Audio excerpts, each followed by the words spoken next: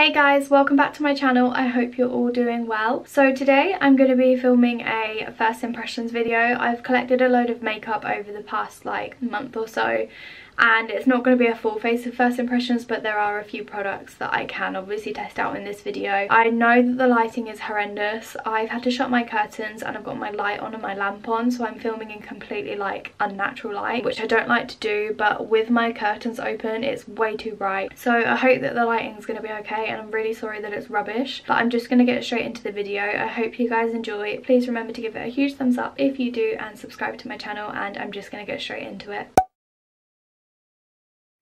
So I do have a primer to test. I have the e.l.f. Poreless Putty Primer. I have wanted to try this for ages and to be honest I just haven't picked it up. I haven't seen it in any stores near me. This was I believe £8 and I got it from Boots and I'm really excited to try it. I've, I've heard that it's um, a dupe for the Natasha, not Natasha Denona.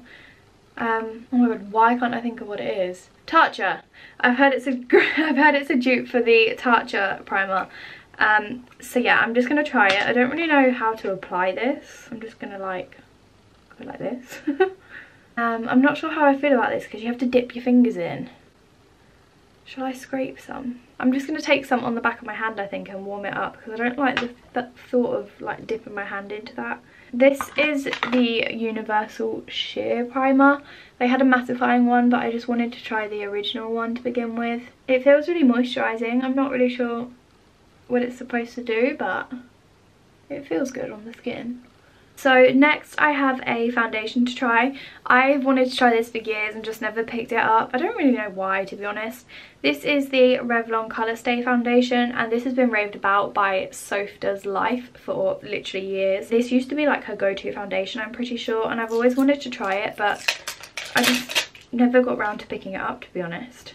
This is in the shade Buff I really struggled to choose a shade in store because obviously with COVID they've got rid of all the testers. It's really runny. I wasn't expecting it to be that runny. And it smells a bit questionable too, but we're just going to go with it.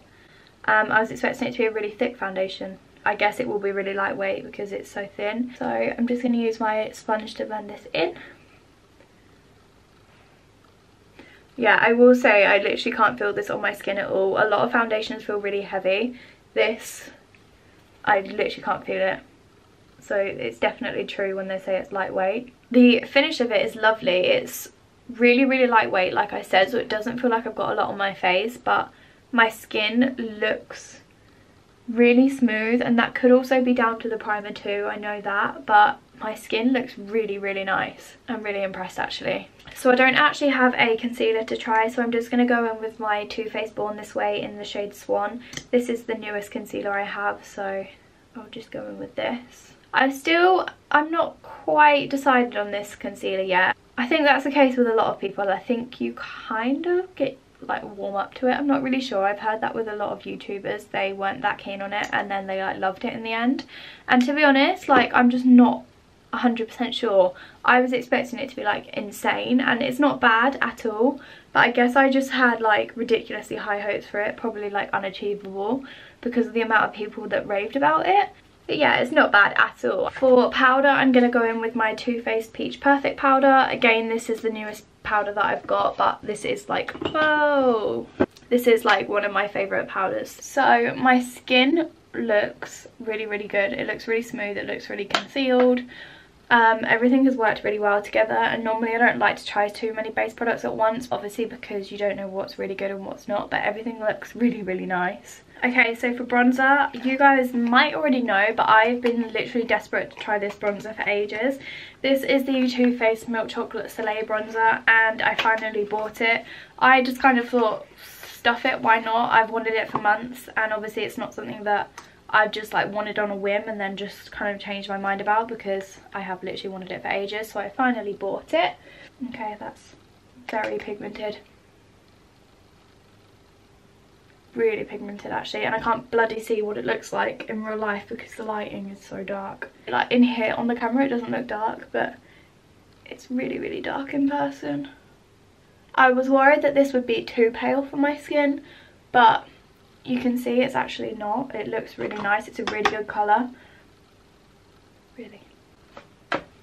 This is so pigmented, it's actually mental. Oh my god. Jesus, you need to tap your brush off, that's for sure. I look ridiculous, don't I? So I've just looked at this in natural light with the curtain open and it looks so, so nice.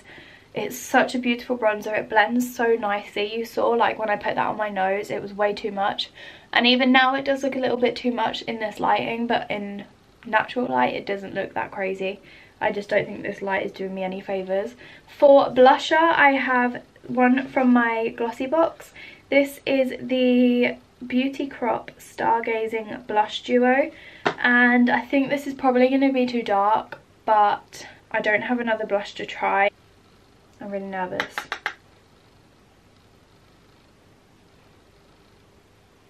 Okay, yeah, it's quite pigmented. It blends really nicely. It's definitely more of a shimmery blusher, like I said. Um, I normally prefer more of a matte one, but in natural light it's not too much. But like I said, this light is just making everything look a lot more vibrant than what it is. But with my curtain open, it actually looks really nice. It's not too crazy. I don't actually have a highlighter to try, so I'm just going to go in with my Colourpop Super Shock Super Shock highlighter in the shade Stole the Show and I'm just going to use my finger and just pat this on my face. I love this highlighter. I don't use it too often because I get a bit scared of it because it's more of a cream highlighter but it does blend so beautifully anyway so as you can see it just is more of like a glow from within kind of highlight rather than like a sit on top of your skin highlight. I don't actually have a new setting spray to try so I'm going to go in with my Iconic London one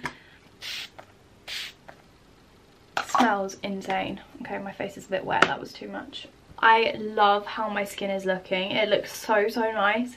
Looks so flawless and like just beautiful and glowy. Okay, so I have a new eyebrow product to try and I'm so excited about it. I said a few videos ago that I really wanted to try some new eyebrow products because I always use my Benefit ones and I was in Boots the other day and I found one that I used to love before I discovered my Benefit ones and it is the Revolution Pro Brow Pomade. I used to be obsessed with this. I remember it being really good so I hope that it still is. I'm just going to use my Benefit brow brush. Also this brow pomade is much more of like a hard texture so it's really easy to work with. It's not like slippery like some brow pomades. I love this. I honestly think this might be on par with like the Ka-Brow by Benefit and it's so much cheaper. I'd say it's been at least four years since I've used this and I can see why I used to use it all the time. It's so good. Okay, so like, I don't mean to be dramatic, but I honestly think that's as good as my Benefit Ka-Brow. I mean, if 16 year old me did anything right with my makeup, it was my eyebrow products. Not my eyebrows, my eyebrows were horrendous. But this eyebrow product, like, props to me for choosing this because it's really good.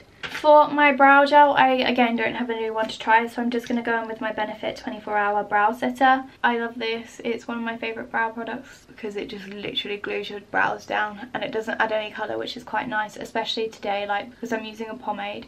I don't want to add in too much colour to it because then they'll be quite dark. We are doing good. When is the tits up part of it going to come? Probably now, actually, let's say that because I have a, oh god, I have a faux freckle thing to try.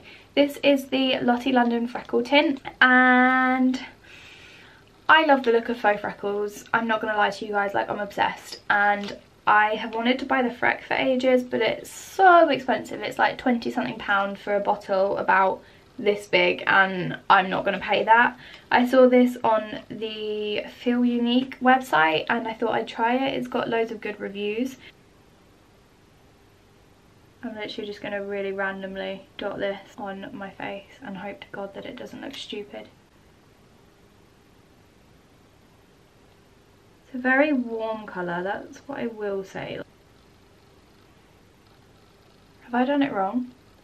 It just looks like splatters. Have I done it wrong? I don't understand. Yeah, see, when you blend them, like they're just turning into massive blobs on my face and they don't look like freckles. I had such high hopes. Maybe I'm just shit and doing it wrong, but... Nah, I hate it. It looks ridiculous. What have I done? Is it my fault? The tiny ones look fine, but the big ones just look freaking stupid.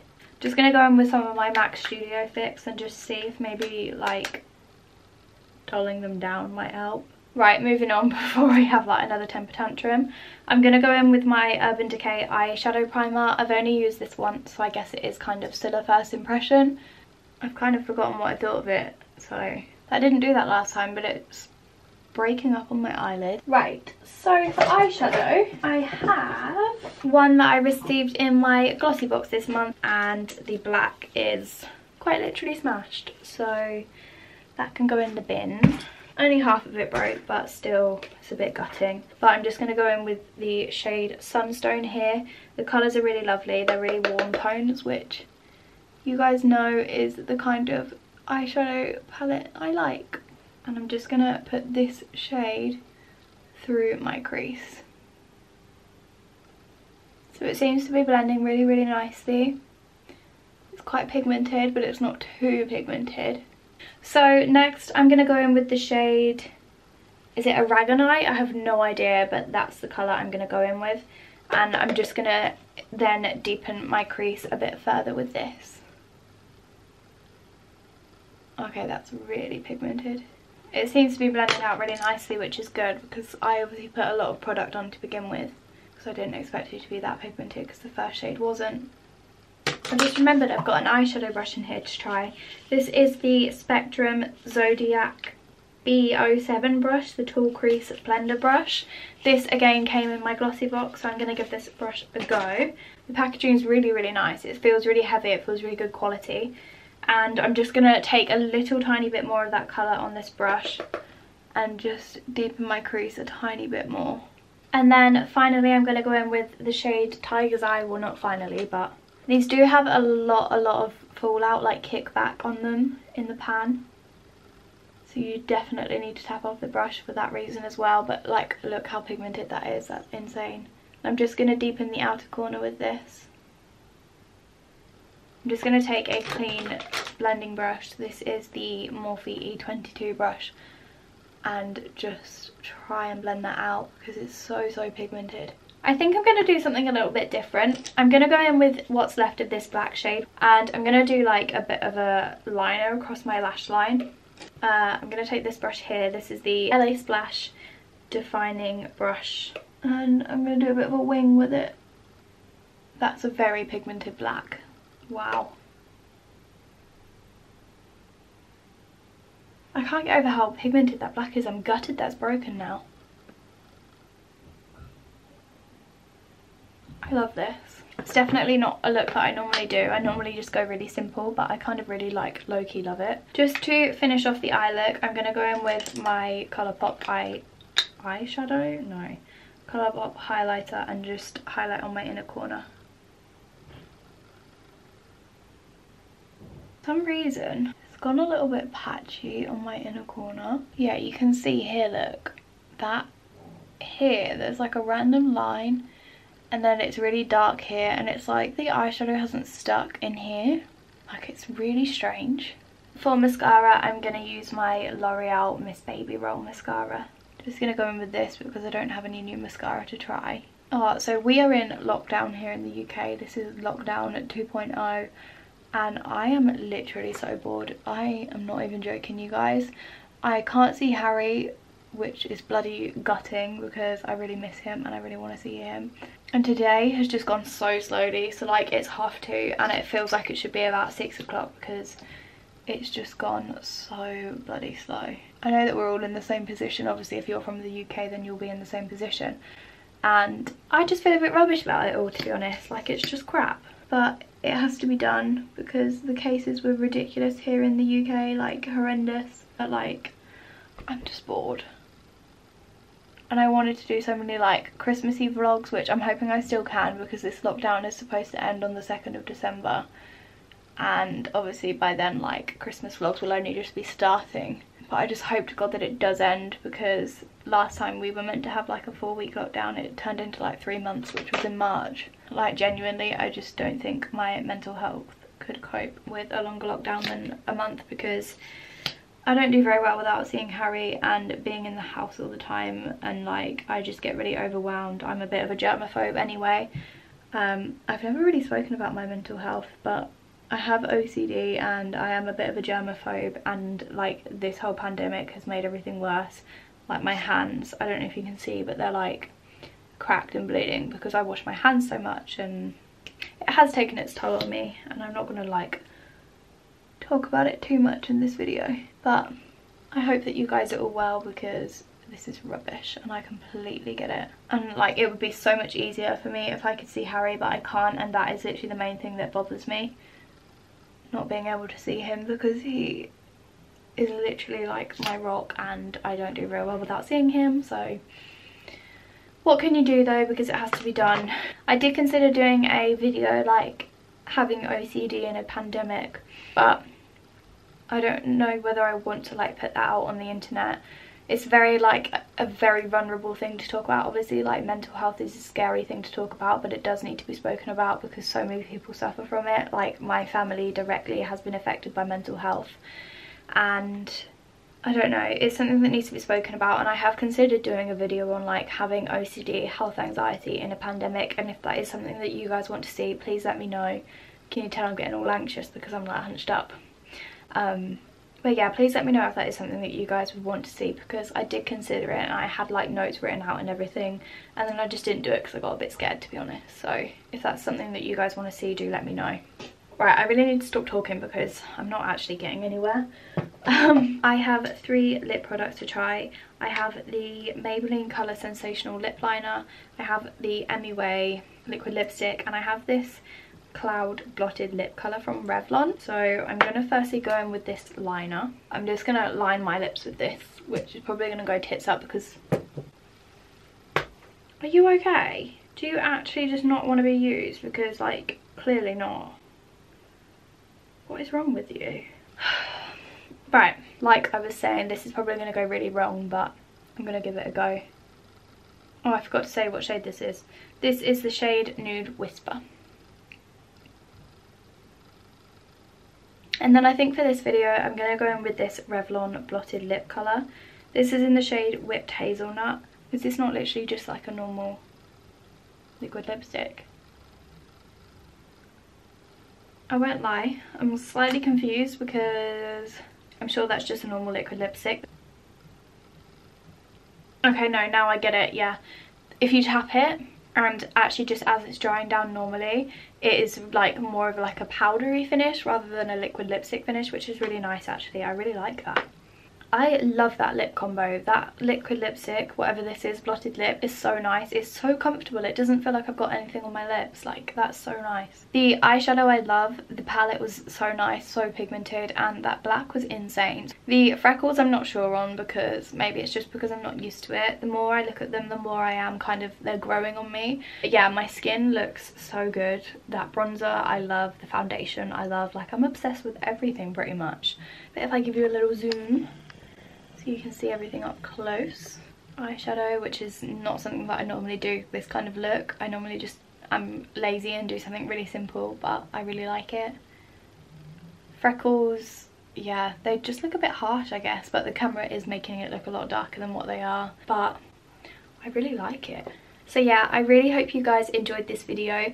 If you did, please remember to give it a huge thumbs up and subscribe to my channel. Let me know if you want me to film that like mental health video kind of thing. I don't know if that's something you guys will be interested in. So yeah, I really, really hope you guys enjoyed. Please stay safe and look after yourselves and I will see you in my next video. Bye guys.